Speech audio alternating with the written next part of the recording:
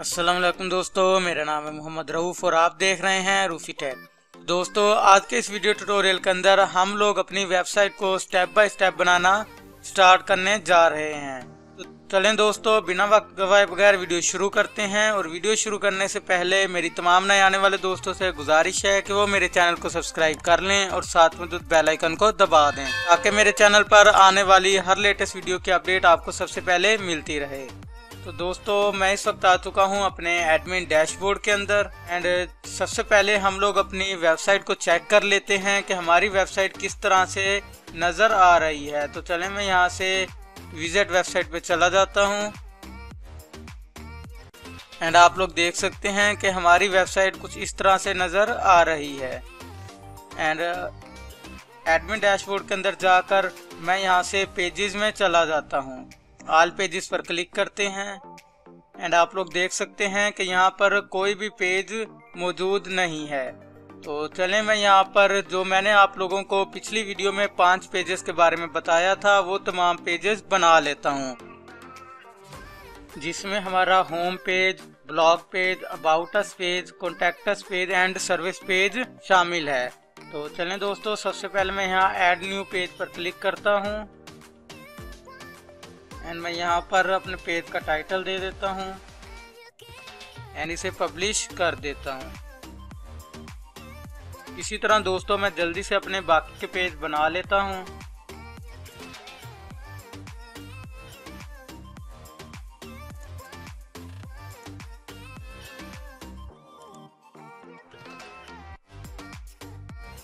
तो दोस्तों जैसा कि आप लोग देख सकते हैं कि मैंने अपने पाँच के पाँच पेजेस बना लिए हैं।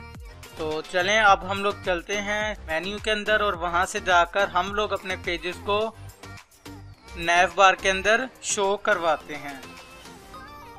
तो सबसे पहले मैं आप लोगों को दिखा देता हूँ, अपने पेज को रिफ्रेश कर कि हमारे ये पेजेस अभी तक हमारी वेबसाइट के अंदर शो नहीं हुए। आप लोग यहाँ पर देख सकते हैं कि नैव बार नहीं है। तो चलें, मैं यहाँ से जाता हूँ अपेरेंस के अंदर एंड मेन्यूज पर क्लिक कर देता हूँ। तो दोस्तों, सबसे पहले हमें अपने मेन्यू का नाम देना है। तो चले, मैं यहाँ से मेन मेन्यू नाम दे देता हूँ। Main menu and create menu पर क्लिक कर देता हूँ। एंड उसके बाद मैं अपने तमाम पेजेस को यहाँ से व्यू ऑल पर क्लिक करके अपने तमाम पेजेस को सिलेक्ट कर लेता हूँ। दोस्तों, आप लोग देख सकते हैं कि यहाँ पर हमारे पास दो होम पेजेस शो हो रहे हैं। इनमें एक होम पेज बाय डिफ़ॉल्ट जब हम वर्ड इंस्टॉल करते हैं ऑटोमेटिक बन जाता है। तो चलें, हम लोग पहले इन्हें ऐड मेन्यू में क्लिक कर लेते हैं। एंड आप लोग देख सकते हैं कि ये जो होम पेज बाई डिफ़ॉल्ट हमारे वर्ड के साथ इंस्टॉल होता है, ये आखिर में आप लोग देख सकते हैं कि कस्टम लिंक लिखा हुआ शो हो जाता है। तो चलें, हम लोग इसे यहाँ से डिलीट कर देते हैं। एंड उसके बाद दोस्तों, हम लोग यहाँ नीचे स्क्रॉल डाउन करके अपने मेन्यू की पोजीशन को यहाँ से सिलेक्ट कर लेते हैं कि हमें अपने इन मेन्यूज को किस जगह पर शो करवाना है। तो चले, मैं यहाँ से टॉप मेन्यू सिलेक्ट कर लेता हूँ एंड देन सेव पर क्लिक कर देता हूँ। अब हम लोग जाकर अपनी वेबसाइट को यहाँ से रिफ्रेश करते हैं। जैसे मैंने वेबसाइट को रिफ्रेश किया, आप लोग देख सकते हैं कि यहाँ पर नैव बार शो हो गई है एंड मेरे पाँच के पाँच पेजेस यहाँ पर आप लोग देख सकते हैं। तो चलें, हम लोग अपने इन पेजेस को तरतीब से सेट कर लेते हैं। इसके लिए मैं वापस आता हूँ मेन्यू सेक्शन में एंड यहाँ से सबसे पहले ऊपर मैं होम पेज को रखता हूँ एंड होम पेज के बाद यहाँ पर मैं सर्विस पेज को रख देता हूँ एंड उसके बाद ब्लॉग पेज को एंड इसी तरह अबाउट अस पेज और कॉन्टेक्ट अस पेज ऑलरेडी तरतीब में है तो चले मैं सेव मेन्यू पर क्लिक कर देता हूँ। इसके बाद हम लोग जाकर अपनी वेबसाइट को दोबारा से रिफ्रेश करते हैं। एंड जैसे मैंने रिफ्रेश किया तो आप लोग देख सकते हैं कि हमारी नैव बार तैयार हो चुकी है। एंड अगर हम लोग अपनी नैव बार के अंदर ड्रॉप डाउन मेन्यूज बनाना चाहते हैं तो चले मैं आप लोग को उसका भी तरीका बता देता हूँ। सिंपली आप लोगों ने क्या करना है कि इस मेन्यू को थोड़ा सा आगे की तरफ़ ड्रैग कर देना है एंड उसके बाद सेव मेन्यू पर क्लिक कर देना है। इसी तरह अपनी वेबसाइट को हम लोग रिफ्रेश करते हैं। तो आप लोग देख सकते हैं, जैसे मैं अबाउट अस के मेन्यू पर होवर करता हूँ तो नीचे कॉन्टेक्टस का मेन्यू मुझे शो हो जाता है। इस तरह आप लोग ड्रॉप डाउन मेन्यू भी बना सकते हैं। तो चले, मैं अपने मेन्यू को दोबारा से सेट कर देता हूँ। कॉन्टेक्टस को उसकी पोजीशन पर ड्रैग करने के बाद मैं सेव मेन्यू पर क्लिक करता हूँ एंड अपनी वेबसाइट को दोबारा से रिफ्रेश कर लेते हैं। तो दोस्तों, अगर मैं अपनी वेबसाइट को यहाँ से क्लोज करके दोबारा ओपन करता हूँ, जैसे तो आप लोग देख सकते हैं कि मैं जैसे स्क्रॉल डाउन करता हूँ तो यहाँ पर मुझे ये पोस्ट शो हो रही हैं। जबकि मैं ये चाहता हूँ कि जब भी मैं अपनी वेबसाइट को ओपन करूँ तो मेरे सामने पोस्ट शो ना हो। जस्ट वही सेटिंग शो हो, वही डिज़ाइन शो हो जो मैंने अपने होम पेज के अंदर बनाया बनाया हो। और जो ये पोस्ट हैं, ये ब्लॉग पेज के अंदर शो होनी चाहिए। अगर मैं यहाँ से होम पेज पर क्लिक करता हूँ तो आप लोग देख सकते हैं कि यहाँ पर होम पेज में मुझे कोई पोस्ट शो नहीं हो रही। इसका मतलब है कि जब हम अपनी वेबसाइट को ओपन कर रहे हैं तो बाय डिफ़ॉल्ट जो होम पेज बना हुआ है, वही ओपन हो रहा है। हमारा बनाया गया होम पेज ओपन नहीं हो रहा। इसके लिए हम क्या करते हैं? डैशबोर्ड में आकर यहाँ से हम लोग चले जाते हैं। सेटिंग में scroll down and setting setting में जाने के बाद यहाँ से रीडिंग सेटिंग पर मैं क्लिक कर देता हूँ। एंड आप लोग देख सकते हैं कि यहाँ पर your home page display your latest post already ये सिलेक्टेड है तो मैं यहाँ से नीचे स्टैटिक पेज सिलेक्ट बिलो इस पर क्लिक कर देता हूँ एंड यहाँ से होम पेज अपना सिलेक्ट कर लेता हूँ। इसके लिए मैं होम पर क्लिक करता हूँ एंड स्क्रॉल डाउन करने के बाद यहाँ से मैं सेव चेंजिंग पर क्लिक कर देता हूँ। अब अगर मैं अपनी वेबसाइट को दोबारा से विज़िट करता हूँ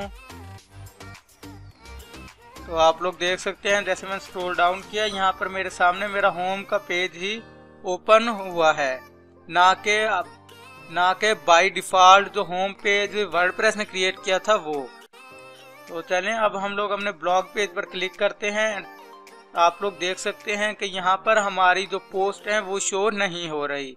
हम लोगों ने अपनी पोस्ट को अपने ब्लॉग पेज के अंदर किस तरह से शो करवाना है तो चलें, अब हम लोग उसकी सेटिंग देख लेते हैं। मैं दोबारा से सेटिंग में, वही रीडिंग सेटिंग में वापस आ चुका हूँ। एंड यहाँ से आप लोग देख सकते हैं पोस्ट पेज मैं यहाँ से सिलेक्ट पर क्लिक करता हूँ एंड ब्लॉग को चूज़ कर लेता हूँ। यानी ब्लॉग पेज को। एंड उसके बाद मैं यहाँ पर सेव चेंजेस पर क्लिक कर देता हूँ। सेव चेंजेस पर क्लिक करने के बाद मैं यहाँ से जाकर दोबारा से अपनी वेबसाइट को रिफ्रेश करता हूँ। तो आप लोग देख सकते हैं कि जो ये मेरी बाय डिफ़ॉल्ट जो मेरे पास एक पोस्ट अवेलेबल है, वही यहाँ पर शो हो गई है। अगर मैं होम पेज में जाता हूँ तो आप लोग देख सकते हैं कि वो बिल्कुल खाली है, उसके अंदर हमारी कोई पोस्ट वगैरह कुछ शो नहीं हो रही। जबकि जब मैं ब्लॉग पोस्ट पर क्लिक करता हूँ तो वहाँ पर मुझे मेरी पोस्ट शो हो रही है, जो मेरी वेबसाइट के अंदर अवेलेबल है।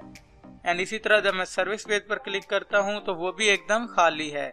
क्योंकि इन पेजेस को अब हमने स्टेप बाय स्टेप क्रिएट करना है। इन पेजेस को हमने डिज़ाइन करना है।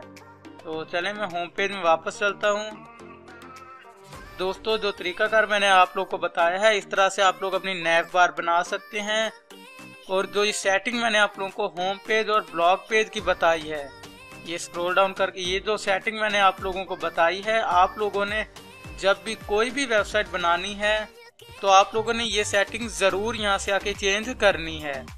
एंड उसके बाद दोस्तों, हम लोग देखते हैं कि हम लोग अपनी वेबसाइट का जो नेम यहाँ पर मेरे सामने शो हो रहा है रूफी सी एच ट्वेल्व एंड उसके नीचे जो मेरी ये लाइन है, यहाँ लिखा हुआ है जस्ट अनदर वर्डप्रेस साइट मैंने इसको चेंज किस तरह करना है? तो चलें, हम लोग इससे पहले चेंज कर लेते हैं। उसके लिए मैं चला जाता हूँ एडमिन डैशबोर्ड के अंदर। एंड यहाँ से सेटिंग में आप लोग जनरल लिखा हुआ देख सकते हैं, मैं इस पर क्लिक कर देता हूँ। दोस्तों जनरल सेटिंग में जाने के बाद यहाँ से स्क्रॉल डाउन करके ये आप लोग की साइट टाइटल आप लोग को शो हो रहा है। तो चले, मैं इसे यहाँ से चेंज कर देता हूँ रूफी टैग एंड ये जो नीचे टैग लाइन है तो चले, मैं इसे भी चेंज कर लेता हूँ यहाँ से। यहाँ पर मैं लिख देता हूँ WordPress course.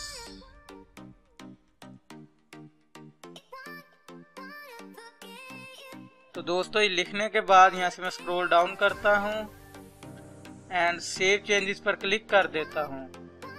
After this मैं अपनी वेबसाइट के अंदर वापस आकर इसे रिफ्रेश करता हूँ। तो आप लोग देख सकते हैं कि मेरी वेबसाइट का नाम चेंज हो चुका है। इस तरह से दोस्तों, आप लोग अपनी वेबसाइट का नाम भी चेंज कर सकते हैं। तो दोस्तों, आज की वीडियो हमारी यहीं तक थी। आज आप लोगों ने जो कुछ सीखा है, इसकी प्रैक्टिस करें और वो दोस्त जिन्होंने अभी तक मेरी पिछली वीडियोस नहीं देखी, उन्हें लाजमी देखें।